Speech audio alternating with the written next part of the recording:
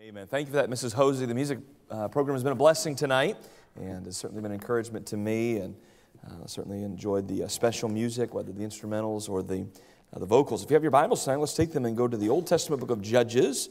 Uh, Judges chapter number 17 is where we'll find our text this evening. And of course, we have been walking uh, through this book of Judges together on Wednesday night and uh, really since the beginning of last year. And so uh, I believe this is message number 18. Of course, I'm not preaching every Wednesday night, nor have I over the past year. Uh, but um, we come now to the 17th chapter of the, of the book of Judges. And uh, to be very honest with you, the judges that most of us are familiar with and are aware of, uh, that we just have a surface knowledge of, we have, we have passed all of them. Uh, think about men like Gideon, men like Jephthah, uh, men like uh, Samson, and, and we now move into somewhat of a more obscure uh, area of this book, and, uh, but, but certainly, um, certainly kind of carries with it the same theme of what's been happening in the nation of Israel throughout the period of the judges. And that is just a lot of turmoil, a lot of uh, wickedness and idolatry, and really some things that, you know, as God's people, we just kind of shake our heads at and, uh, and are amazed that, uh, that, that God's children would participate in some of these things. Well, the, the real spirit of this age is captured in the sixth verse of the 17th chapter. And so that will be the, uh, the text that we'll have for tonight. And, uh, and so if you'll follow along with me there in verse number six, the Bible says, In those days there was no king in Israel, but every man did that which was right in his own eyes. Now, this will become a popular refrain throughout the remainder of this book. We'll find this phrase several times. In those days, there was no king. There was no leader. Uh, there, was, uh, there was no one who would, would stand up and take the lead. And as a result, every man did that which is right in his own eyes. The title of the message tonight is just simply Every Man a King. Every Man a King. I apologize that we do not have uh, the screen uh, available. That is my fault. Uh, I had saved it and I never emailed it to where it needs to go. And I apologize for that. It didn't dawn on me until I arrived here tonight that I had made that mistake. So forgive me. You'll just have to listen along like we did in the old days, right? All right, every man a king. Well, let's consider this thought here. There was no king, so every man basically set himself up as a king. And whatever pleased him, whatever he wanted, whatever he thought was good, then he did. We're going to see how that plays out. We're going to see it specifically in the life of a man by the name of Micah. Micah, the story is found beginning in verse number one of chapter 17. There was a man of Mount Ephraim whose name was Micah. So we're introduced to this man in this uh, chapter. And a uh, few things about his story that you need to know. We're going to kind of walk through these things, and then we're going to share with you uh, some things that you can expect when every man is a king. Uh, first of all, we notice here that Micah's story involves the fact that he stole 1,100 shekels of silver from his own mother.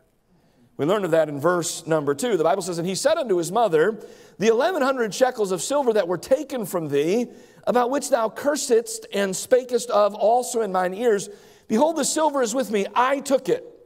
And his mother said, Blessed be thou of the Lord, my son. I guess confession really is good for the soul. And so we find here, we're introduced to this man Micah, and the very first thing that he does is he admits or he confesses, Mom, you know the 1,100 shekels of silver that you were so upset about, you were uh, cursing the fact that you had lost them, and you spoke about this in mine ears. Well, I just want you to know I took it, and I'm here and I'm returning it back to you. So this, this is Micah. Notice uh, Micah's mother, according to verse number four, uh, had dedicated her life's savings uh, for a specific purpose. Notice the purpose in verse number four. Yet he restored the money unto his mother, and his mother took 200 shekels of silver and gave them to the founder, who made thereof a graven image and a molten image, and they were in the house of Micah. And, uh, and so the money is, is returned back, and she says, Look, Micah, here's what I was planning on doing with that money. I was going to give it to you for the purpose that we might fashion our own images, our own idols, that we might worship here uh, in our home. So this was the purpose to which she had set aside 1,100 shekels of silver. Now, notice the Bible tells us that Micah, after the, the graven images were formed, had a house or a portion of his own house transformed into a temple filled with these idols and false gods. Look again in verse number five. It says, And the man Micah had an house of gods and made an ephod and teraphim and consecrated one of his sons who became his priest. And, uh, and so we find just a lot of problematic things happening here in the life of Micah. We find that he steals from his mother. We find that his mother uh, is grateful that he gives the money back. And she says, Here's why we save the money so that we can create these gods. The gods are created. And Micah takes either a house or a portion of his own house and he sets up all of these, all of these things. And, uh, and, and, it, and he turns his own house into his own temple. And then the Bible says that he consecrates one of his own sons to be the priest in that temple. And, uh, and again, this is obviously not at all what God intended should take place. We also learn in verse number five that he borrows from the true worship, or excuse me, the true form of worship in the actual tabernacle uh, to be used in his own temple, and that is the, the symbolic ephod uh, that is spoken of here in verse number five. And then we find in verses seven through 13, he, you know, he eventually lets his own son go from being priest, and he finds an actual Levite of the tribe of Levi who is part of the priesthood in the nation of Israel. That's the design. And he hires him to be his own personal priest and believes because of this that he will be blessed by God. Um, even though everything here he's doing is wrong, um, man, when you're a king in your own eyes and every man is a king, well, then everything's right and everything's fine and everything's good. And he's creating, essentially, he's creating his own rules. He's created his own religion and he is full steam ahead. It's all about him and what pleases him. And so we see here the lies, we see the stealing, we see the idolatry, we see the priests for hire. All of these things are critical elements that describe the wickedness and debauchery at this time in Israel, and really what describe what happens when every man becomes his own king. You see, with no true leader, no king, no judge, no prophet, the people all go their own way and they begin to do their own thing. And so, this void in leadership creates a vacuum that is filled by every man operating as the king of his own life and his own family. And so, I want us to walk through this passage together and I want us to consider what happens when every man is his own king. I want you to consider several things. Number one, when every man is king, things of value are devalued. We learn of that in this passage of Scripture. When every man is his own king, things that should be valuable are no longer valued, they are devalued. I want us to consider a couple of things specifically from this story that I believe are devalued. Number one, I would say integrity is devalued when every man is his own king. You see, when every man is his own king, then he makes his own rules. In many cases, there are no rules. Whatever pleases me, whatever I feel like doing at that certain point in time. And oftentimes we understand that integrity requires us to do the hard thing, to do the right thing. And when we set ourselves up as our own king, well, I don't want to do the hard thing. I'm the king. I shouldn't have to do hard things. I should do what pleases me, I should do what I like. And, and the story is introduced to us with the fact that Micah admits to his mother that he had stolen her life savings. I, I, I to me, it's inconceivable that a man would steal from what we would presume to be his elderly mother. There's no, there's no indication that, uh, that his mother even has a, has a husband that's still alive. That, that, she is, that she is a widow, and that he thought in his mind, hey, I can just take this large sum of money and do what I want to with it, or at least take it and intend to spend it on myself. But that's what happens when every man is his own king.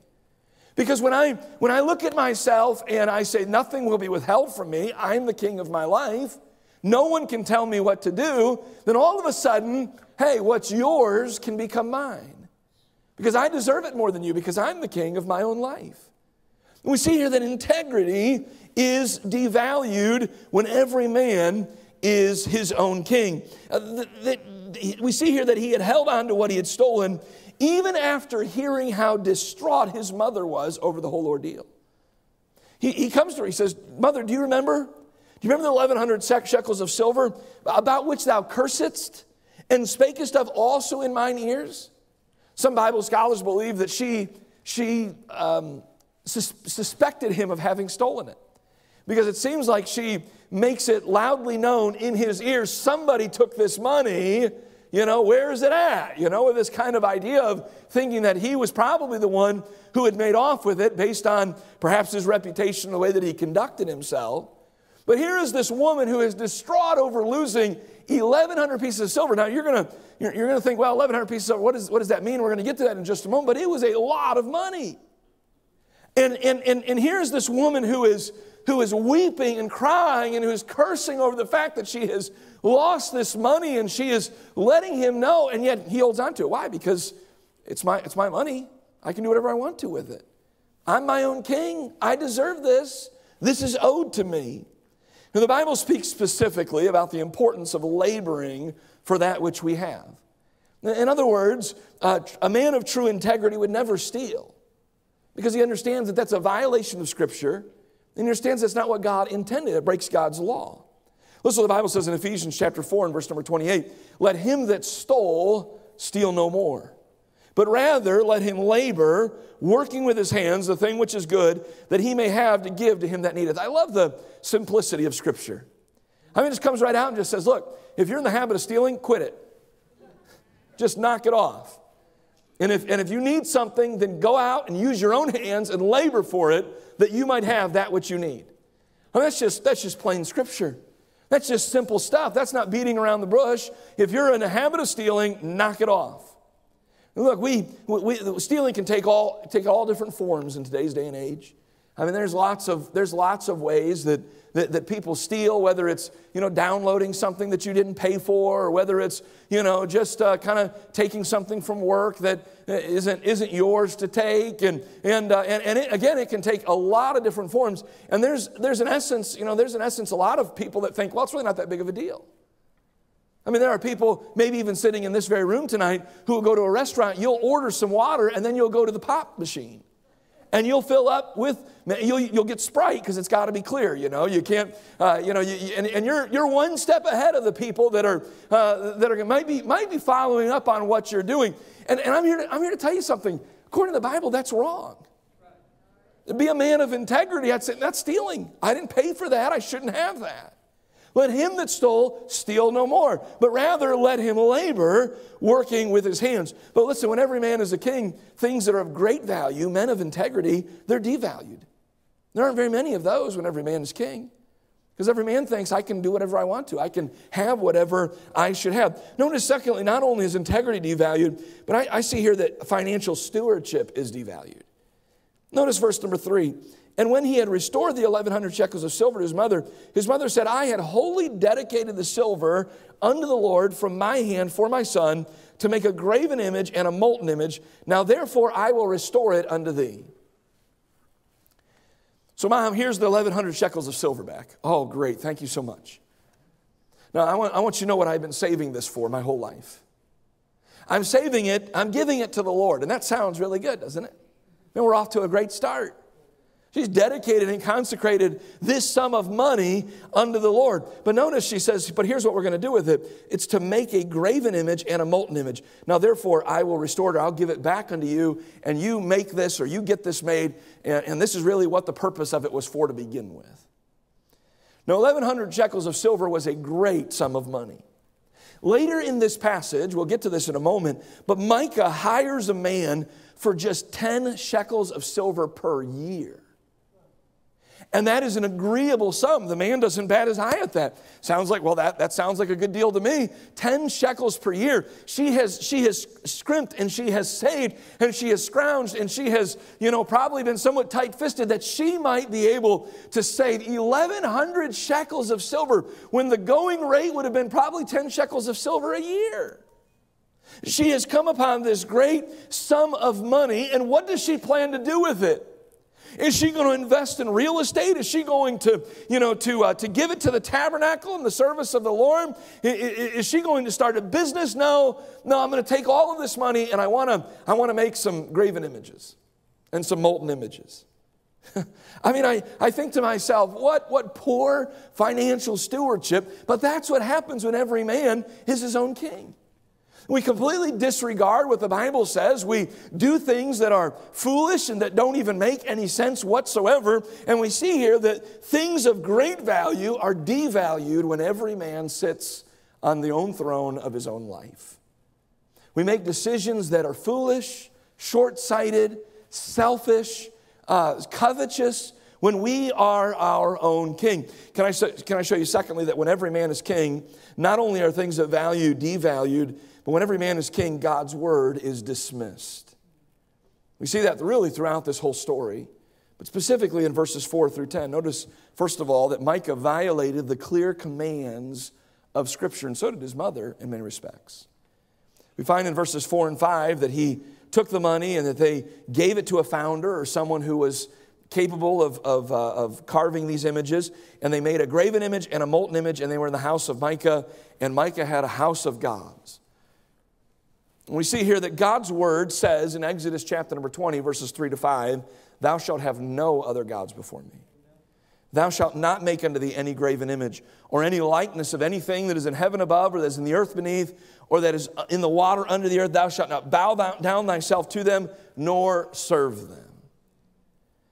So we find here that when every man is king, well, we can just we can just get rid of the Bible. We can dismiss this. We don't we don't need God's word anymore. We're just going to do our own thing. We want to we want to violate the commands, the clear commands of Scripture, then we can do so. Notice, secondly, not only did he violate the clear commands of Scripture, but he took items used in the true worship of God and used them for his own purposes. In verse number five, the Bible talks about how he made an ephod. That may not mean anything to you, but the ephod was a vestment worn by the high priest. It was commanded by God to be created in Exodus chapter number 28, verses 4 and verse number 6. Throughout, throughout the history of the children of Israel, the ephod was worn by men like Aaron, Samuel, and even David. The ephod was used as an oracle or a way uh, to obtain God's word or revelation. We read of that in 1 Samuel chapter 30, verses 7 and 8. When David gathers the ephod and he says, Shall, shall we go up and shall we pursue after them? They're at Ziklag, and the revelation comes to them go, up, go, go after, up after them, and you will pursue after them, and you shall surely capture and regain all that you have lost. Word comes directly from the Lord.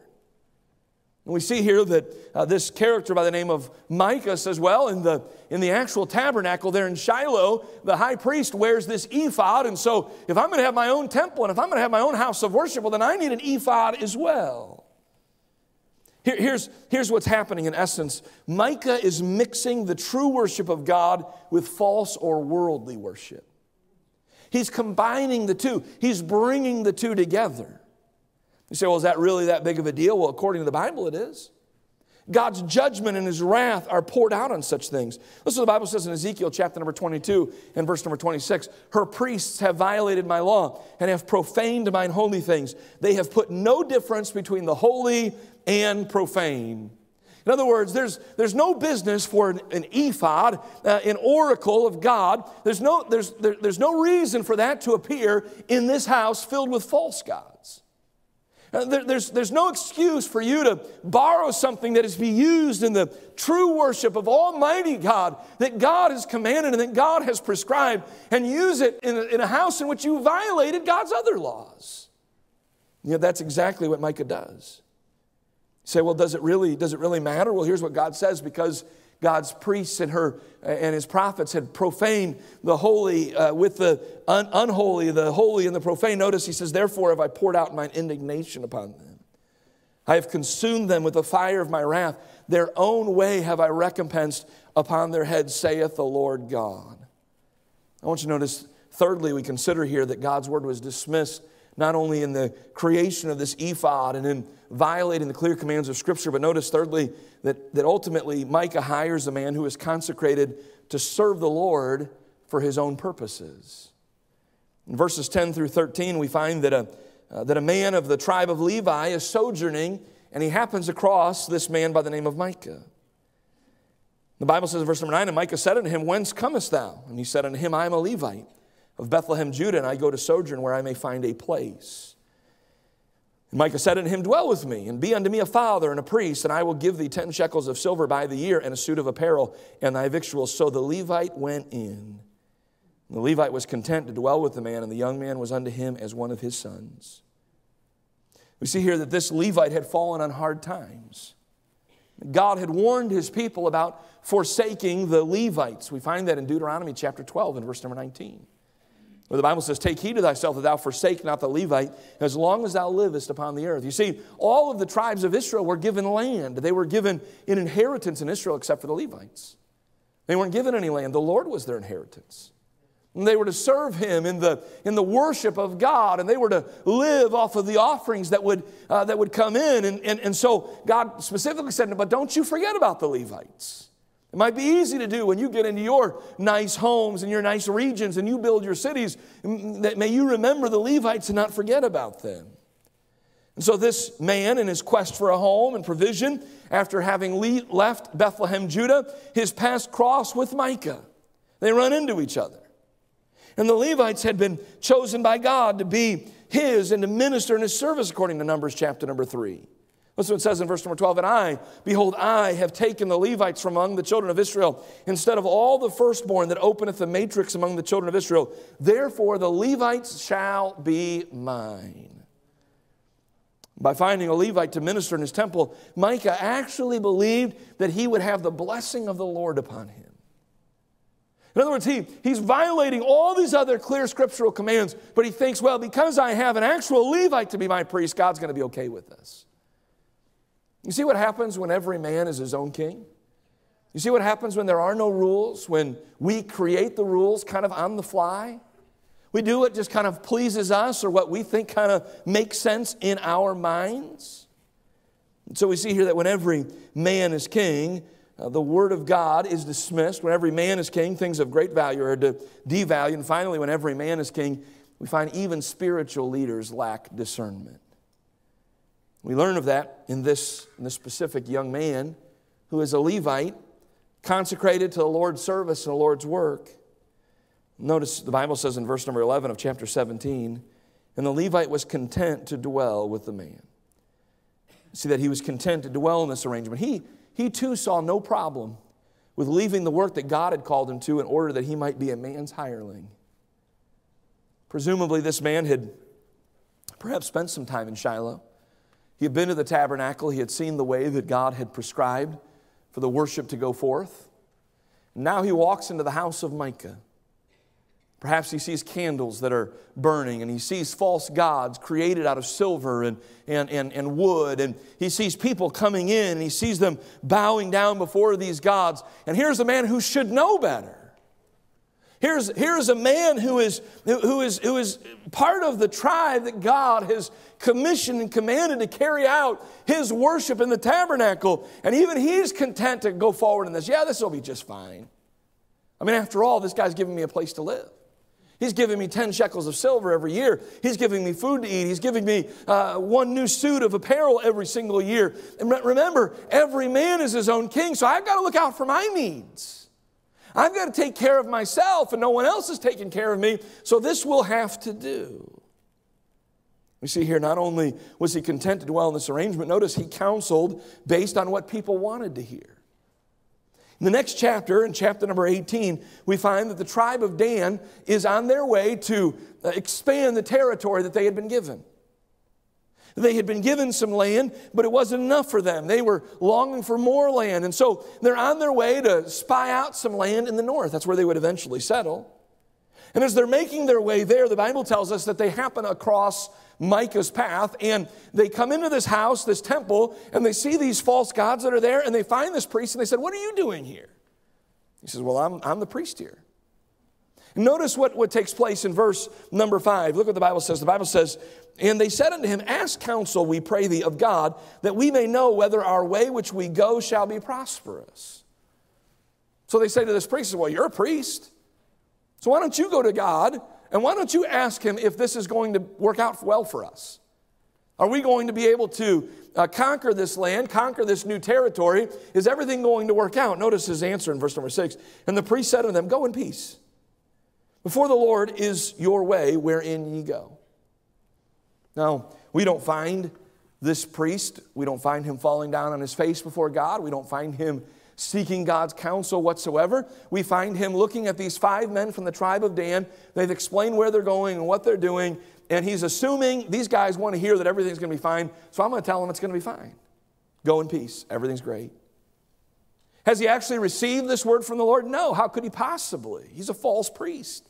He's a false prophet. He is not a man who has been blessed by God, and yet he simply tells them what they want to hear. Now, this is especially dangerous for a forward path eventually is going to require a battle. And the potential for men's lives to be lost based upon this counsel that we would all recognize as very, very reckless. In other words, if you came to me and you said, Pastor Pete, I'm, I'm trying to make a decision, um, and here's, here's, what I, here's what I think I'm going to do, here's what I want to do, would you pray about this decision? If I just looked at you and I just said, I don't need to pray about it, you, you go ahead and do it. That, that makes sense. I, I think you would probably be like, well, I'm asking you to pray about it. I'm not, asking, I'm not necessarily asking you to tell me what to do. Just pray about it. By, by the way, we live in a day and age in which you can go to God yourself. You're your own priest. You, you don't have to come to me. Now, I'm happy to bear your burdens with you. I'm happy to pray with you. And that's a privilege of mine and an honor for me to do so. But the truth of the matter is, you have the Holy Spirit living inside of you. He is your guide just as much as He's my guide. And so we're living in a day and age in which we don't have to go and find an ephod to get an oracle from God. We have His word for us here. We can, we can bow down our own knees before God and we can pray. But I'm just simply saying that we, we've got to be leery, we've got to be careful about surrounding ourselves with people who just tell us what we want to hear. And that's the type of counselor this false priest was. Notice finally, thirdly, he chose to leave Micah and to be priest to the tribe of Dan based upon more prestige. Go with me a little bit further in chapter number 18 and look in verse number 18. They, they gathered 600 men to go to war. They went up, they spied the land, came back, and said, Hey, this guy's told us everything's going to be good, so let's get our 600 men, and we're going to go up, we're going to fight, and we're going to take some more land. Now, on their way up to battle, notice the Bible says in verse number 18, and these went into Micah's house and fetched the carved image, the ephod and the teraphim and the molten image. Then said the priest unto them, What do ye? And they said unto him, Hold thy peace, lay thine hand upon thy mouth, and go with us, and be to us a father and a priest. Is it better for thee to be a priest unto the house of one man, or that thou be a priest unto a tribe and a family in Israel? And the priest's heart was glad. And he took the ephod and the teraphim and the graven image and went in the midst of the people. These guys come to him and they give him an offer that he cannot refuse.